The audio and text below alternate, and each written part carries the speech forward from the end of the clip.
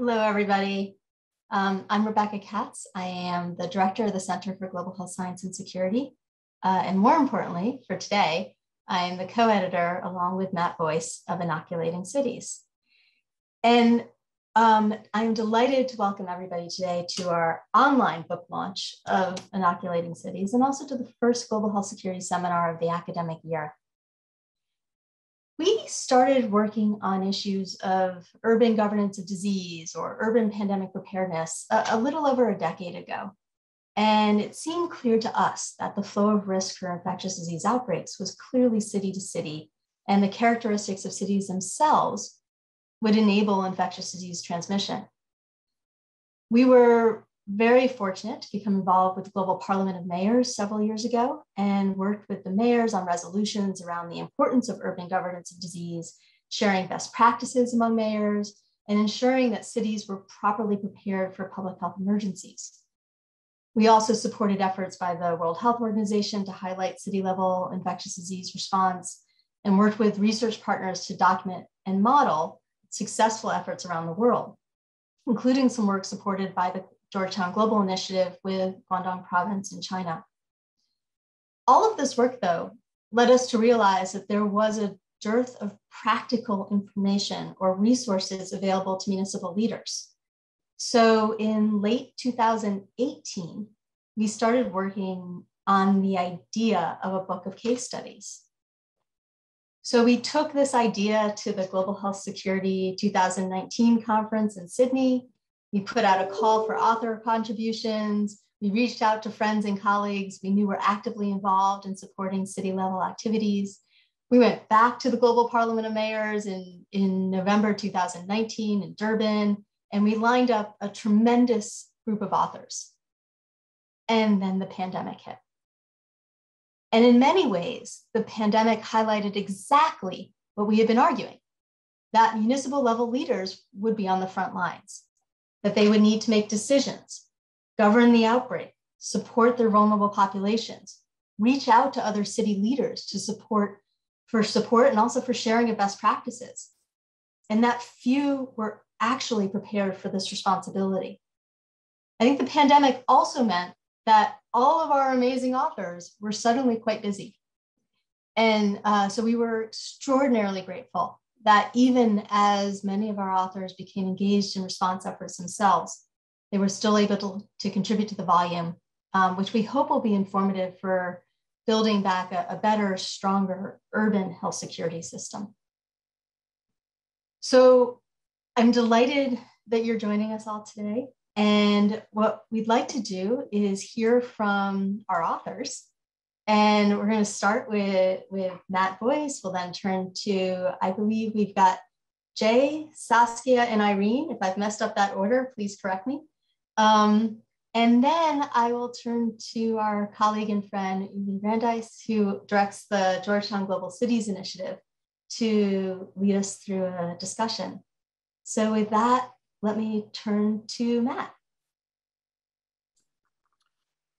Wonderful. Uh, thank you for that introduction, Rebecca. And uh, good morning, good afternoon, good evening to everybody joining us uh, from all around the world. It's great to have you here. Um, so my comments are going to try to set the stage for the rest of the hour or so we have. And uh, will be relatively short and sweet because our other esteemed panelists have really, truly some very interesting talks prepared. and so from the onset, I, I, think the question we really need to be asking ourselves is why cities and, and why urban areas? And for me, at least, the question, the answer to this question is severalfold. Uh, so, for much of our history, human populations have lived in small nomadic groups, and as a result, populations remained relatively stable uh, largely due to the comparable reproduction and mortality rates. But several thousand years ago, during the agricultural revolution, uh, humans largely abandoned this more nomadic lifestyle and began to form more permanent settlements. And as a result, uh, there were increases in population size, population density, eventually the first cities. Um, but along with all of these things came new infectious disease transmission patterns and new infectious diseases. And uh, this broader demographic trend of urbanization has not really let up since that time. However, over the past 250 years or so, our world has urbanized at an unprecedented rate. And now uh, a majority of the world's population actually resides in urban environments. And this is also uh, of importance because this trend isn't projected to end anytime soon. Um, and in fact, it's projected to accelerate in certain areas of the world, especially in uh, countries located in Africa and Asia as they continue to grow wealthier and develop. And so all of this holds important implications for public health, health security, and development um, as characteristics inherent to cities can promote the spread of infectious diseases, both within a city, but also between cities in our highly globalized world. And so, broadly speaking, these characteristics can relate to urban populations. So, for example, the high population densities can promote the spread of disease uh, between humans. They can relate to the physical environment of cities. Uh, so, again, cities are often home to large airports and seaports, et cetera, um, that can promote the spread of disease between different cities. Um, or they can relate to urban inequalities. Uh, so things like different socioeconomic statuses or differing access to public goods and services like healthcare uh, can be common in cities. And these unique factors ultimately make the detection and control of infectious disease outbreaks a direct function of cities, uh, which require robust public health systems. And so urban leaders have been grappling with this responsibility, that of protecting the health of their populations and urbanites for centuries. And they often have a role in implementing several important non-pharmaceutical interventions, which we all know now fairly well, uh, quarantine, isolation, contact tracing, et cetera, to respond to infectious disease outbreaks. But city authorities also often play a role in other response activities, including the distribution of medical supplies, supervising vaccination campaigns, risk communication, and requesting assistance from higher levels of government as needed. Additionally, uh, cities also often capitalize on the strengths of a diverse group of constituents and stakeholders that are found within them. Uh, your private businesses, your healthcare organizations, and civil society groups.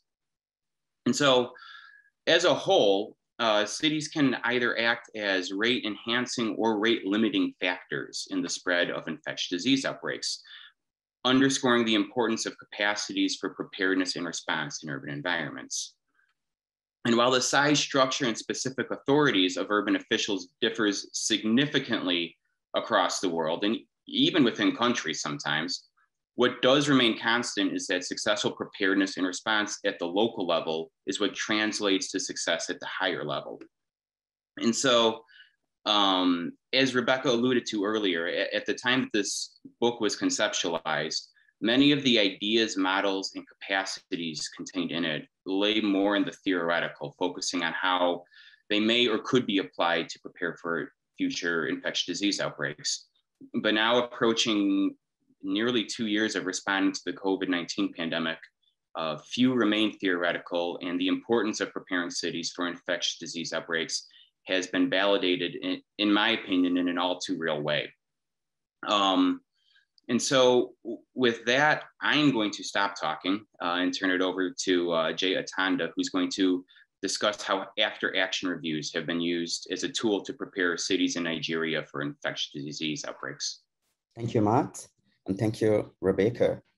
Um, can you all see my slide? Right. Awesome, awesome. Um, thank you for inviting me. Um, so I am presenting this chapter on behalf of the Nigeria Center for Disease and Control.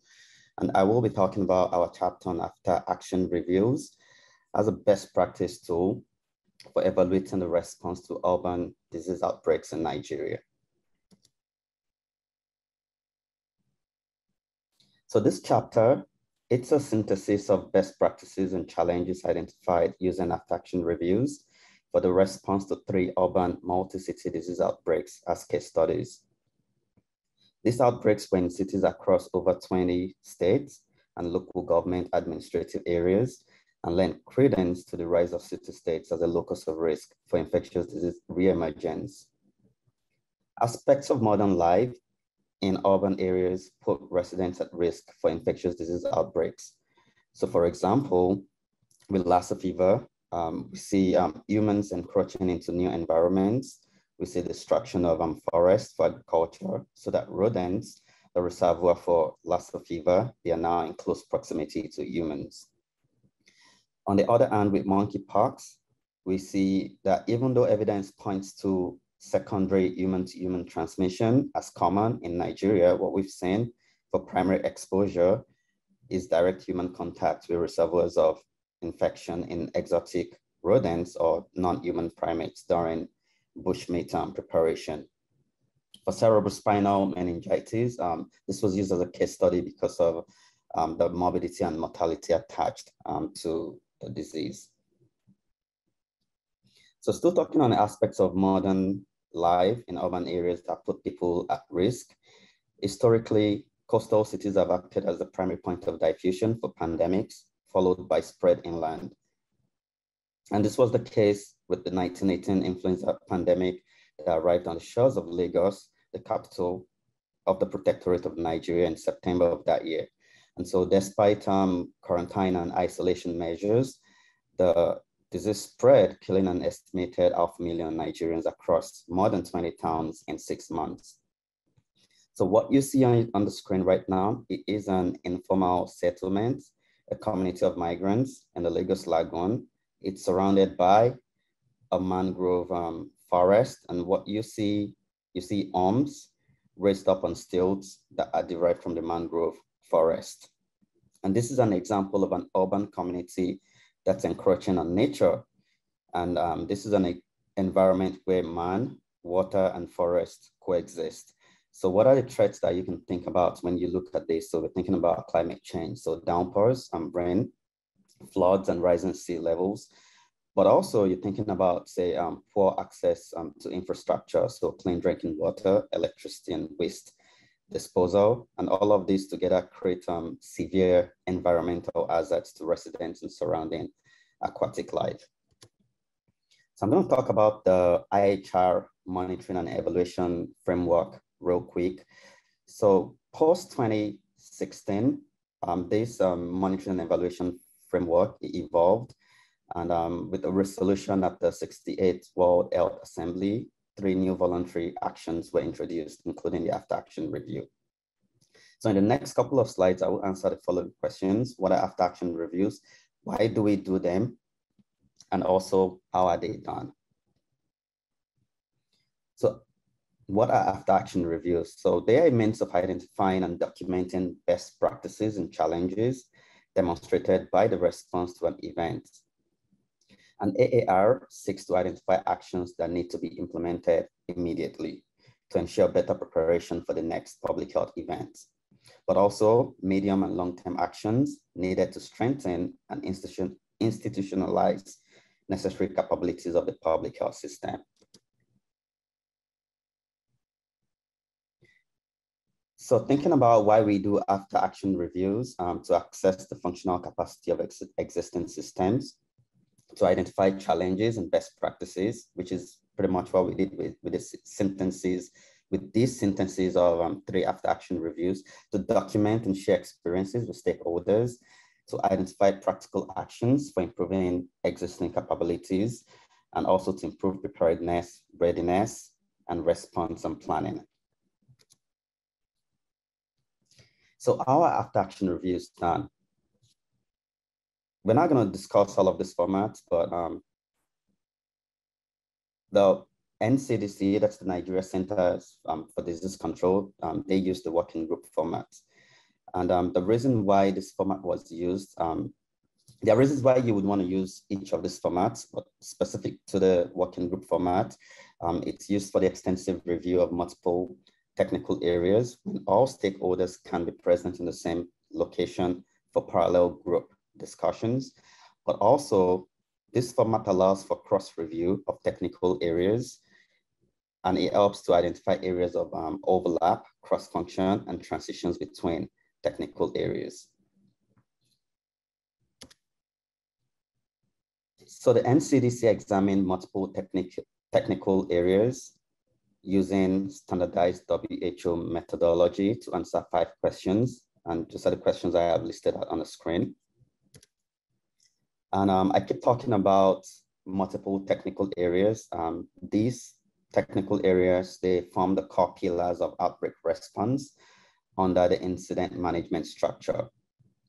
And so what we did to write this chapter, um, we used the after action reviews that were conducted after response efforts to the three outbreaks that we used as case studies.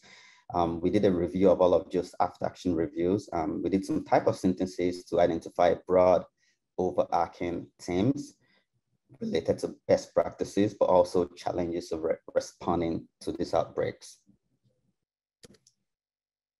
So four main findings surfaced that could be considered as best practices for pandemic preparedness in urban environments. One is a theme that's related to a roadmap for responders, and this we saw across all five um, pillars, all five core pillars, and this we called um, um this team we called um SOPs, guidelines, and um, response plans. Two is a team which we found as a main driver of the coordination and logistics um, pillar. And this we described as the importance of partnerships and um, collaborations. The third is quality control in laboratory practices. And the fourth is a team related to supporting systems and tools. And then we also talk about, um, um, we also identify limitations and challenges. So very broadly um, related to SOPs, guidelines, and um, response um, plans, um, this is a team that suffers across all the core pillars.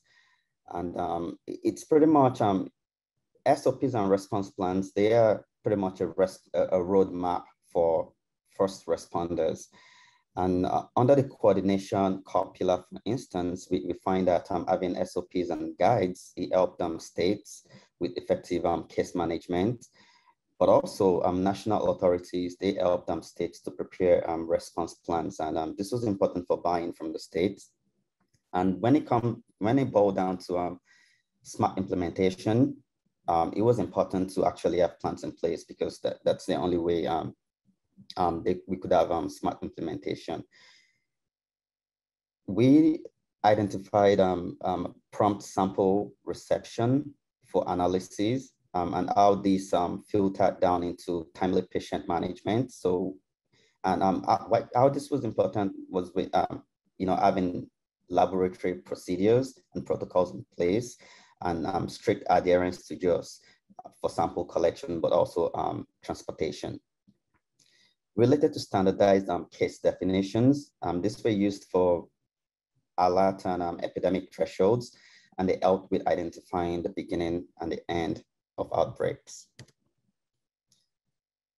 The next theme was um, related as a best practice related to partnerships and collaborations. This we found to be a key driver for the coordination and logistics um, IMS pillar.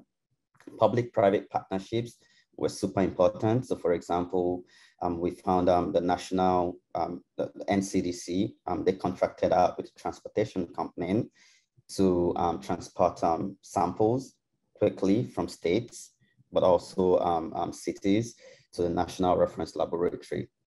But also a larger community reach and um, for this is really um, important for say like a disease like um, Lassa fever, where a whole lot of the response is related to um, sensitization. So creating awareness was key.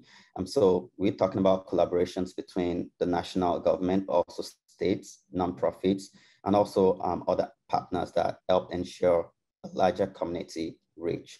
So we're also talking about um, um, collaboration with, say, um, religious leaders, but also um, um government um, political appointees serving as um, champions. So there's also timely detection of local and imported cases across borders. And I, I, touched already on rapid sample referral to the NCDC National Reference Laboratory when I talked about logistics. But also thinking about, um, you know, similar to what we have with the PPP, but the synergy between state and federal agencies, but also between um, um, intra-federal agencies themselves. So for example, we had um, weather forecast and climate products from the Nigerian Met Meteorological Agency being used by the NCDC to predict, identify, and plan for public health events in at-risk um, states. So the next best practice that we identified was um, quality control in laboratory practices. And um, we identified our quality control measures, how they speed up the analysis, release, and sharing of laboratory results. And all of these result in timely and efficient patient management. But also just having protocols in place, it helped with the preservation of um, samples and isolates. For a disease like monkeypox, where we um, had reemergence, um, it's a novel condition, no treatment, no vaccines. Um, you know, having um, practices in place in the laboratory related to um, PPE and ensure, ensuring all staff that worked in laboratories that they wore PPE, but also making sure that was available for the staff. But then also for a disease like cerebrospinal meningitis, where we have vaccines, um, ensuring laboratory staff were vaccinated. And then um, also um, monitoring to ensure the integrity of the, of the cold chain for vaccines in general. And for Lassa fever, having a national testing algorithm in place and consistent, uh, consistent application of that across all laboratories. The final best practice that we identified was um, related to supporting systems and tools um, so we're talking about things like the timely activation of um, EOCs. One of the things that the NCDC um, has been working on um, over the past um, two, three years is standing up EOCs in each of the 36 um, states in the country, but also the use of an incident command structure. Also having functional disease surveillance um, systems in place, so indicator and event-based um, surveillance systems then we also identified um, analytics um, expertise, so related to mapping, so GIS, but also just, uh, you know, just um, plain data analytics, um, you know, and that's important for like um, uh, creating some of the reports that um, were necessary. And um, importantly, sharing spaces with, you know, shared spaces with um, the places that generate data. So, um, you know, like having the, the labs, like a national reference lab sitting in the same place as the national as the NCDC. Um, that, that, that helped with um, with um, analytics um, expertise. All right, so now I will transition into talking about um, the limitations that we identified. Um, I guess I'm just gonna move fast um, from this point on. So there's a WHO mandated um, epidemic preparedness and response or a public health emergency management committees that's um, mandatory. But um, what we, one of the things we noticed was that this was not functioning as designed. And this was important because, um, you know, um, the AAR findings themselves, um, the implementation of the AAR findings fell on these committees. But what we were seeing, and it was also important, you know, these committees were important for cutting red tape, but also preventing duplication of efforts. So they were, these committees were either non-existent across states or partially constituted. Inadequate funding um, across board, no dedicated um, budget line for activities. And um, giving an example for risk communication activities, this meant that health education officers, they were not well paid resulting in turnover without replacement and an inadequate staff to translate materials into local languages. So when you think about like a disease like Lassa fever, again, there, what you really want to be doing is um, aware, creating awareness and sensitization. This affected the response effort to, stop to, to, to a disease like that. Funding also affected um, the surveillance IMS pillar because um, especially for training and capacity, and um, this trickle down into the inability to use um, data and reporting tools when available. And for re-emerging infections like mon monkeypox, there were just no protocols, no guidelines, no response plans in place early in the response. And in general, substandard care and poor treatment outcomes. And um, I put in there a list of um, reasons why this was possible. And um, the final limitation was um, related to laboratories in general. And um, there's a whole bunch of um, things that um, we identified. So insufficient testing kits, lack of culture facilities in some urban areas, but also culture media having a high contamination rate, laboratory reagents deteriorating due to power outages and inadequate storage and facilities in general. And very few laboratories were available to test samples. And these few laboratories were you know, just by, you know, they were easily overwhelmed. And it was just difficult to harmonize data generated um, in laboratories with um, surveillance um, data sets. But I, I, would say this is not unique to a place like Nigeria. I mean, in the US here too, it's difficult to, to integrate um, laboratory um, data into surveillance um, systems. So that brings me to the end of um, my discussion on um, the things that we identified um, when we looked at um, the AARs, um, you know, um, conducted after responding to Lassa fever, cerebrospinal meningitis, and monkeypox in Nigeria. So I would just leave you with these um, four main findings as a recap, as best practices, um, it's great to have um, some type of um, guidelines, response, response plans in place. Partnerships and collaborations, they're very important. Quality control in laboratory practices and um, supporting systems and tools related to analytics um, expertise. These are all very important. All right, that brings me to the end of my presentation. Thank you for listening. Um, these are my credits. Thank you. Thanks, Jay. Um, amazing slides, and hopefully we'll be able to come back and ask you all sorts of difficult questions about them. Hi, everyone. I'm so happy to be here. So today I'm excited as an infectious disease epidemiologist and infection preventionist to discuss the chapter that I wrote, which is really about hospital biopreparedness. And this was written actually as I was working on the front lines in Phoenix, Arizona, where we had developed pre COVID a hospital biopreparedness program, recognizing that despite our reliance on healthcare systems during pandemics and biological events, there really isn't a lot of resource that is provided to them for this.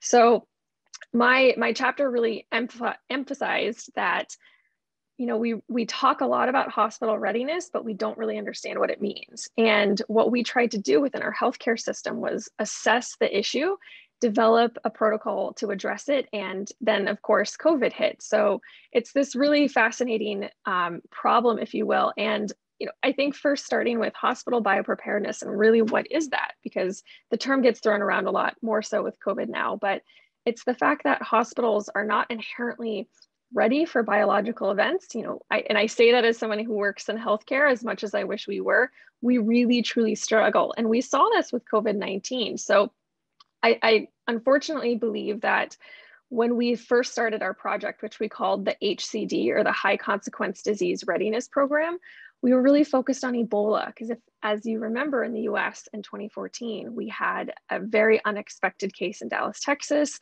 that led to two cases of hospital or nosocomial transmission, meaning it spread within a healthcare setting. So our goal to build this program pre-COVID, so we really started in 2018, was to try and enhance the readiness of you know our healthcare system for a biological event whether that is intentional accidental or man-made um, or natural, I should say. So, you know, it's it's the first question was who's responsible for this? Because you, you know, you actually think, well, maybe it's emergency management. And the truth is, in healthcare settings, what we learned in 2014 was that it's really the infection prevention and control program.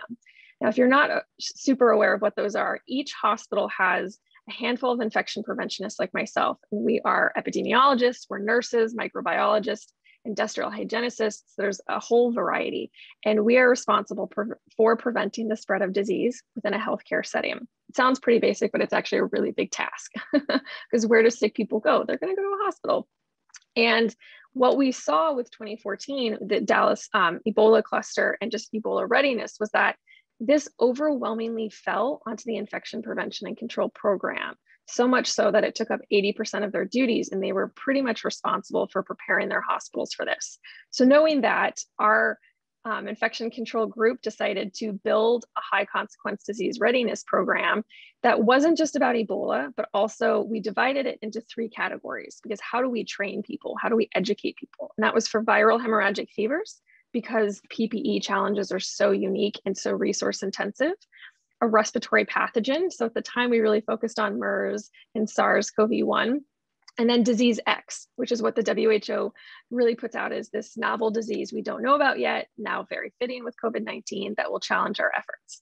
So that was the first goal. And then we kind of sat back and said, all right, how do we assess our readiness though? And for our six hospital system in Phoenix, this meant developing a gap analysis. And unfortunately, there's not necessarily one out there that can just provide you with all of the areas your hospital is not prepared for. So we pulled from CDC and WHO and NETEC and every resource out there to kind of create a checklist, if you will, of what would happen if a patient with Ebola or MERS walked into your urgent care or your emergency department. So, from the moment they enter your facility to the moment they're discharged, what are all the things that we would need to do and what are our vulnerabilities? And as you can imagine, there were a lot. So, we started actually with Ebola because that had been the most recent biological event that we had dealt with. And this was in 2019. And walked through this and we found everything from well we have ppe but it's in it's in the closet and the closet's locked or it's downstairs in the supply chain and no one knows where it is or no one's put on the ppe in forever and they don't know how to where is the sample shipping box? And like what room would we put the patient in? Because in hospitals not every single room in an emergency department is negative pressure or has a private bathroom. So what do you choose? If you have a patient with Ebola and a private bathroom, or do you want something with more um, negative pressure, meaning you're less concerned about aerosolizing and spreading it that way?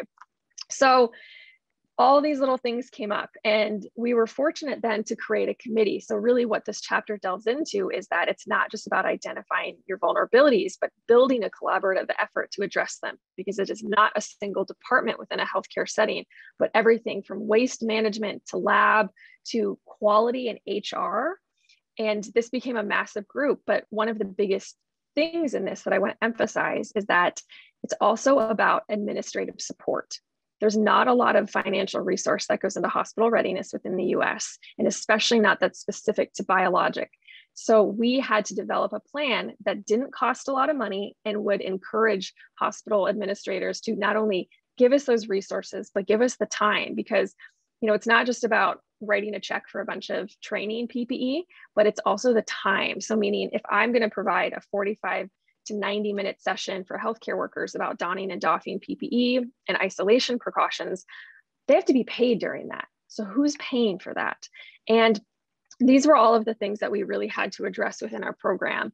But I, I say this because as we had been training on HCD readiness and high consequence diseases, you know, we had gotten about six months worth of training under our belt where we would have people do a little bit online and then we would be roving to six different hospitals. And I will tell you in healthcare, it's not just about a day shift, you have to provide night shift op- op- options too.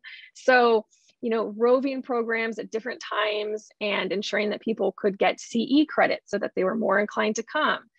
Six months of that before COVID hit.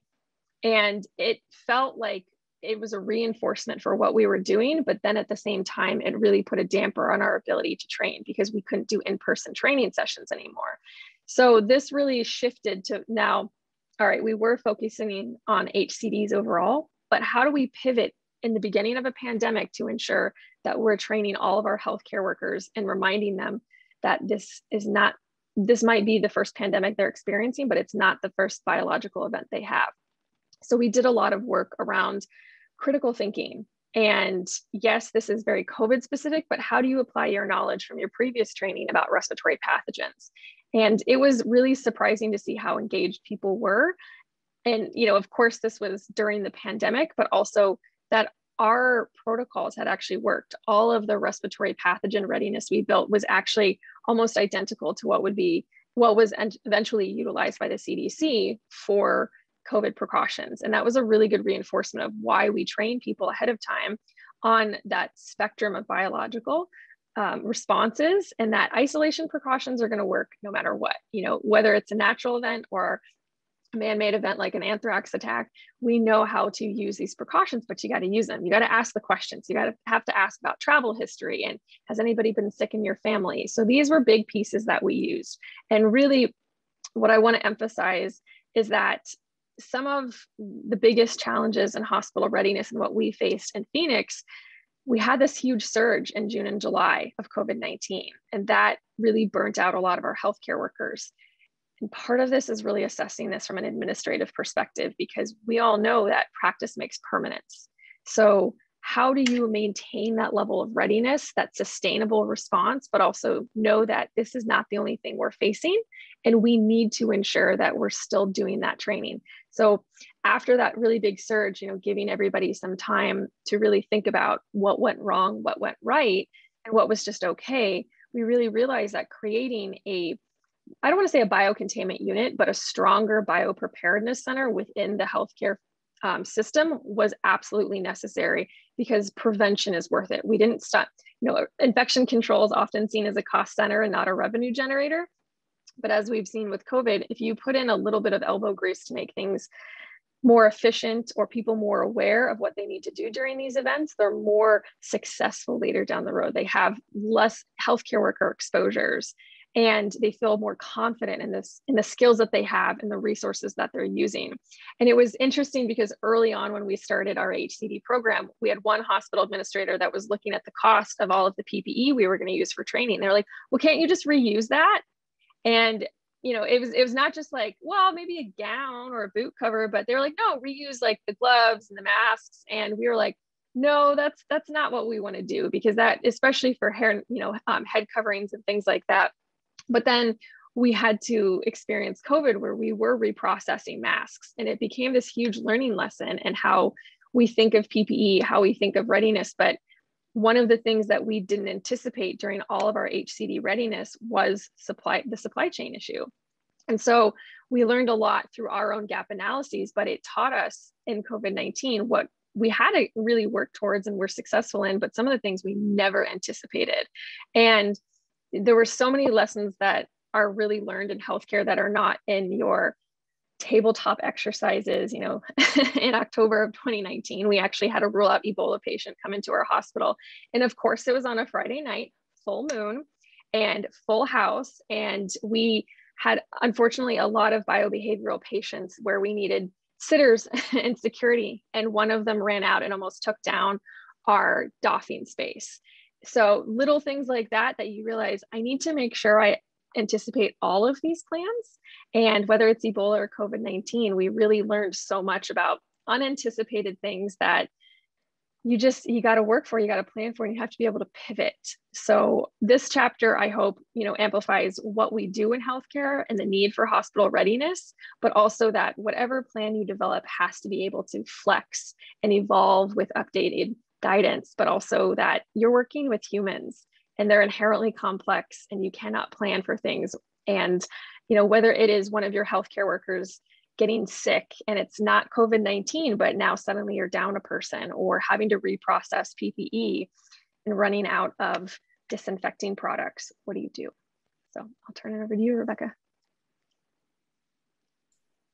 Saskia, thank you so much for that. Um, so much to learn. And and I think you know one of one of the as you know probably better than anybody, IPC just everybody knows it's important.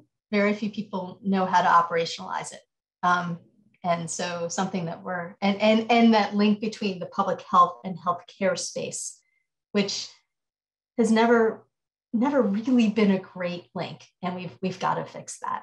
Um, okay, before I dive in, over to Irene who, by the way, it is quite late in Sydney right now. So, eh, um, so thank you again for doing this so late in the evening.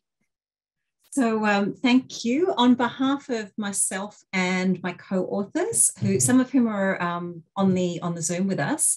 Um, so we're a group of doctors and public health um, specialists who work for a company called International SOS, uh, private enterprise. And um, our chapter is about um, the role of the private sector.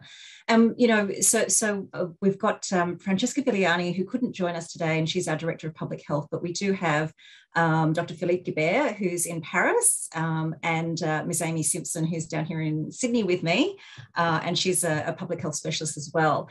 And we've been working for the organisation for a long time. For those of you who don't know us, we've got a presence um, in over 90 countries around the world. And we serve a lot of clients um, that are private and not private and not private, but a lot of um, big, business, big businesses.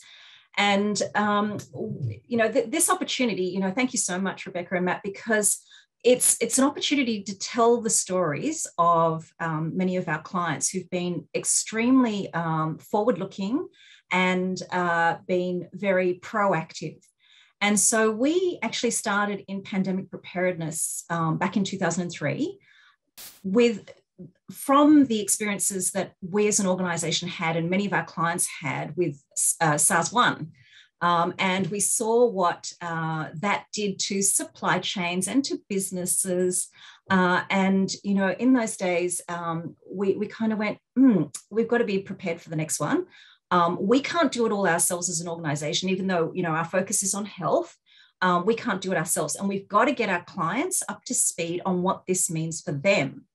And so since 2003, we've actually had a pandemic preparedness website and we've been translating, you know, what was the guidebooks, the playbooks, which were really written for healthcare, for hospitals on infection prevention, and marrying that with the business continuity plans that many organizations had for things like the bomb going off, for the earthquake, but they didn't have um, health preparedness plans.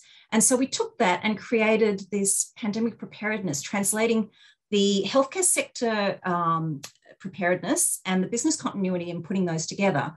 And so we hope that, um, you know, this chapter that we've written actually will be a living chapter that will continue to be written with the lessons learned and more case studies because um, the private sector, they're, they're, really extremely innovative and they are very quick to respond um, in, in many instances.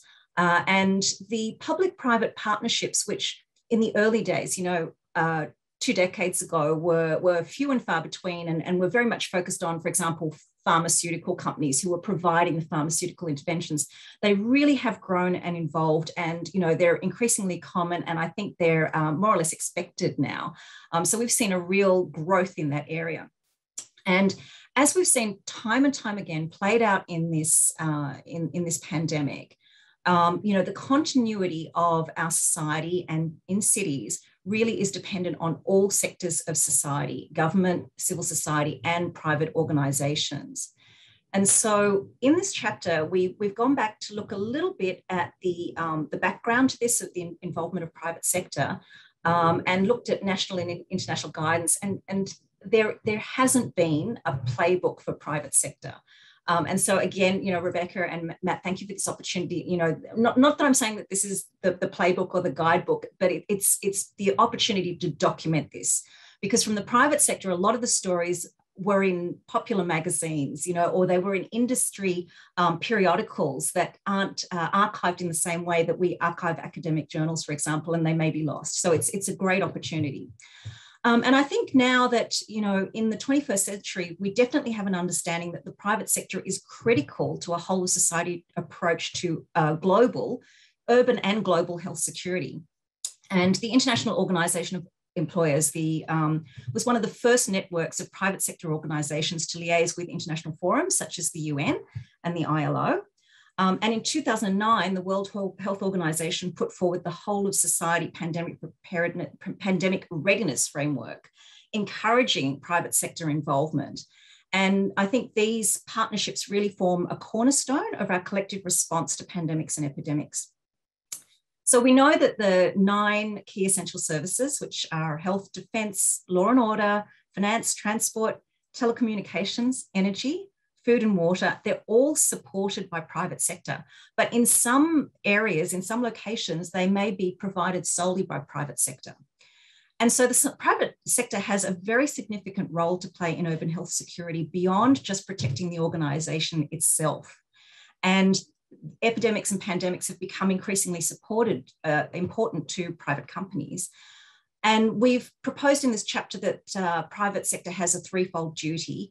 So firstly, obviously to safeguard the business itself, but secondly, to protect and promote well-being, not only of, the, of its direct employees, but for the community in which they operate, as well as, you know, obviously the, the clients that they serve. But importantly, thirdly, and I think we've seen it so many times in this pandemic, it's to support the national and international public health efforts. And the private sector has shown that it's capable and really willing to contribute to this, to, to public health objectives. And for example, there's a group uh, known as the United Nations Global, Com uh, the um, over 9,000 organizations have signed up to the UN Global Compact to align strategies and operations and to take actions to advance societal goals.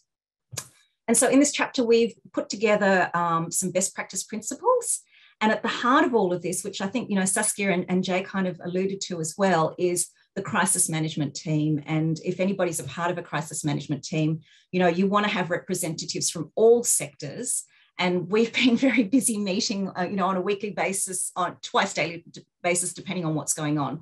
So at the heart of everything is the crisis management team, and around this sits your business continuity planning. And then we've got some key sectors uh, uh, that um, you know you need to go around the circle that you've constantly got to, to, to look at. So it includes things like policies and liaison, your resourcing, which is very important, um, active communication and education.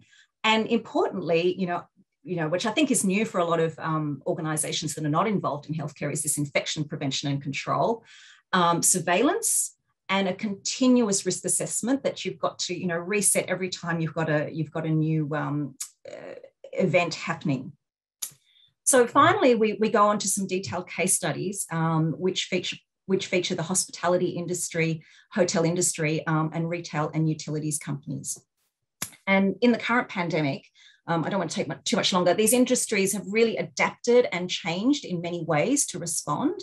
Um, and I did want to just highlight one other thing, which was the infodemic and uh, you know the amount of information, you know, very good information that is out there, but also some misinformation. And so that employees are particularly looking to their organizations as a source of truth and to provide direction and guidance.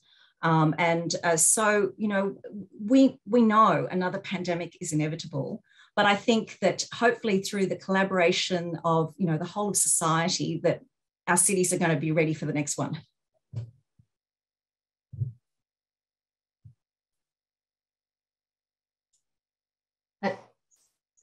Uh, um, amazing, Irene. Thank you so much. And, and by the way, I, am hearing a, a, call for um, volume two. So uh, we'll have to go to work. Um, Uwe, over to you.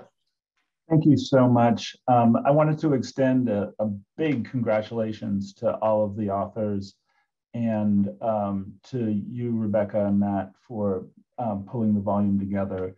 Uh, I think the remarks already have um, raised some really interesting points. And in the interest of time, what I'm going to do is just ask a, a, a kind of a general question for uh, each of you to, to look forward and, and re reflect on this just extraordinary period of work, working on the um, publication and uh, actively working through the pandemic at the same time. Um, so, some of the points that I think have already been made that are so interesting and so important um, uh, relate to how uh, cities and local communities have generated new data. Um, and J Jay had mentioned um, the uh, frameworks of, of, of data, and we know that you know so many cities set up data dashboards that had never set, you know, had never done that before. Um, and uh, the importance of thinking about um, spatialized data through through GIS. There's so much innovation that we've just lived through just over the last two years on um, on that. And um, uh, Saskia and Irene, you, you've both very eloquently uh, elevated the issue of partnerships and really forming cross-sectoral partnerships. And in the context of cities, um, th this is something that happens all the time. And we have so many different kinds of partnerships, but we haven't seen the focused partnerships uh, in um, pandemic preparedness that we've seen over the last, that come together over the last uh, uh, year and a half. So what I'd like to do is, is just ask each of you in reflection, um, as we've as you in the in the process of preparing this publication have moved from from theory to practice wh where do you see the new uh, unprecedented innovation and collaboration occurring? And if i could just ask each of our speakers to reflect on maybe one issue that you see as particularly innovative um, right now and and and and and um, setting the stage for for future practice and future innovation. And um, Jay, why don't we just start with you, and then we'll just follow the same um, same order. All right, thank you. That's a um, that's a great question. Um, I would say this is my personal opinion, so this would not be the opinion um, um, representing the opinion of the NCDC, but it would um, um, you know um, thinking about like innovations and uh, next steps, it, it, would really revolve around um, um, the use of um, genetic um, sequencing. Um, and I know um, there is some work going on in Nigeria related to that. I'm not very familiar with that work, so I don't want to speak to like how many centers are doing anything particularly related to that. But I, I, would say, you know, and the availability of just tools, but also expertise to to do that kind of work. Um, um, you know, just um, tools are um, they're becoming more affordable, they're becoming more accessible, and um, just just all um, tools that um, we can leverage in um, in surveillance work in early disease um, identification. Thank you. I'll take the next one. I think there's twofold. One is personal protective equipment or PPE. It's traditionally been very single use. You know, you put the mask on, you throw it away when you leave the patient's room. And now we've had to really look at it more from a sustainable approach. And I'm hoping that we'll see less single use and more um, multi-use where we can reprocess it and you know stop being so wasteful too because healthcare is a huge has a huge environmental footprint. So mm. this has made us look at personal protective equipment and how we use it how effective is it and how sustainable is it. So that's the first one i would think. But the second is also science communication. This might not be particularly innovative but i think it's something we've struggled with pre-pandemic and definitely during COVID-19 and how we communicate co complex, nuanced things, both in the public and a healthcare setting has been a very big source of vulnerability and one that we've, I think, continuously tripped over that has resulted in a lot of unnecessary stress and frankly, additional cases. So I'm hopeful that moving forward, when we look at not just hospital readiness, but response, it's how are we communicating these issues and uncertainty in a very complex environment. And um, I'd, I'd, like to mention two things as well. So um, one's just come in from my colleague in, in Australia, Amy, who um, is talking about the private sector driving initiatives which promote the public health um, angle and, and the public health measures. And, and so, for example, these are incentives the private sector are offering around the world, you know, within certain boundaries, um, private sector initiatives to the public to, for example, um, get vaccinated. Uh, the other thing that I wanted to mention, which is um, we're grappling with now, is the partnerships and the um, innovations with digital certification of status in order to cross borders. So I'm talking about, you know, the, the digital certificates of, you know, the old thing was the yellow fever card that we had to travel. Um, and now it's so much more. It's, you know, status of your recovery from COVID or your COVID testing or your vaccination status. And it's, it's so important. And at the moment, it's quite um, fragmented, but uh, we need to come together a little bit more on that one. Right. Um, we, are going to go over just a few minutes, which allows me to ask one more question. Um, and what I'd like to do is, again, ask each of you to offer a, a, just a short reflection on the issue of trust. Um, we've already been uh, talking about this, uh, but when we think about cities and we think about um, being prepared, um, of course, uh, we, we talked about supply chain issues, but there are also so many fundamental human behavioral issues in cities about how, how communities form, how they in, inform um, themselves and each other. Um, I'm, I'm wondering if you could offer a reflection on how trust has played into um, the transition from, from theory to practice. And, and again, when, when we go in the same order, Jay. All right. Um, I think that's, uh, I mean, um, trust is a, it's a big issue, mistrust of um, public health in general. I, I, think it's a, it's a big issue. And um, I would say one of the common ways that um, we've seen that play out in um, um, Nigeria is um, related to vaccine, vaccine acceptance, um, and specifically um, for, for, for diseases like, say, polio. And what you would see till today is, um, you know, um, Nigeria is still um, one of the few countries where we see um, polio cases um, popping up now and again, and that's um, one of the reasons. Um, um, one of the ways around that is um, really um, engaging with the community.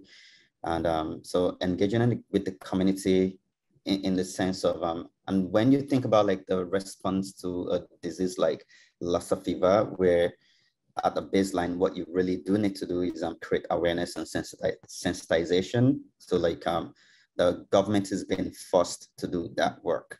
Um, you know, so leveraging, um, um, you know, um, making use of um, um, community leaders. So like um, um, connecting with market women, but also re religious and also with um, with traditional leaders. And, um, you know, because they're part of like the response um, apparatus in that sense. So like, for example, for the after action reviews, they were able to bring just folks, community members to be part of just kind of um, meetings. And I think that was um, just great in general for sharing um, learning um, um, strategies and also learning um, um, experiences. So thank you. Thank you. Saskia? Trust was something that I think was very impacting for us in Phoenix, especially. There was a lot of uh, challenge between local government. You know, our, our city mayor was very pro non pharmaceutical interventions and masking. And then we had a governor who was very resistant to COVID interventions and pushed back.